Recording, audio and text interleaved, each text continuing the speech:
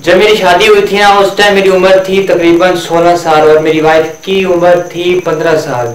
तो मैंने अपनी वाइफ सो वाइफ को पहली रात जो तीन बातें की थी, वो मैं आपको आज बताता हूँ। पहली बात मैंने ये की थी कि तुम मुझ पर हुकूमत करना, सारी ज़िंदगी तुम मुझ पर हुकूमत करना, तुम अपने हुक्म मुझ पर चलाना और मैं तुम्हारी हुकूमत में तुम्हारा हर फैसला सर आँखों पर बिठाऊँगा, सर आँखों पर लूँगा और तुम्हारा हर हुक्म मैं दिल से मानूँगा।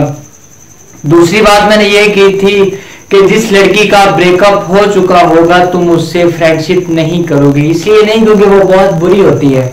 बल्कि इसलिए क्योंकि वो उसको हमारी मोहब्बत से बहुत दुख होगा।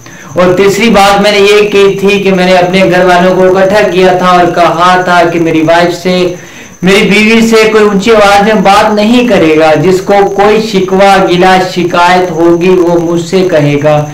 मेरी वाइफ को कोई डिस्टर्ब कोई तंग नहीं करेगा।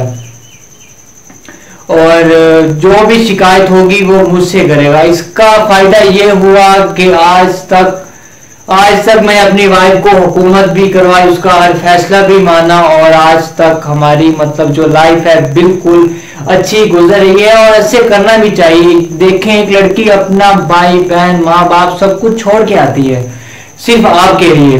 आपके घर में, आपके सिवा उसका कोई भी नहीं होता। जस्ट आप अगर थोड़ा सा उसके साथ कॉपरेट करोगे, उसका ख्याल रखोगे, उसकी बात सुनोगे तो वो हमेशा आपकी खिदमत करेगी।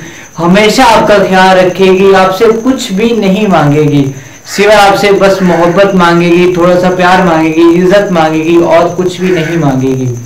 और करना भी ऐसे चाहिए, इससे बहुत ज़्यादा आपका आपका ही फ़ायदा होगा, आपका घर खुशहाल होगा।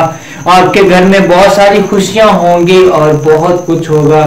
जो आपकी, जो कल की लाइफ होगी, वो बहुत खुशहाल होगी और बहुत ज़्यादा अच्छी होगी।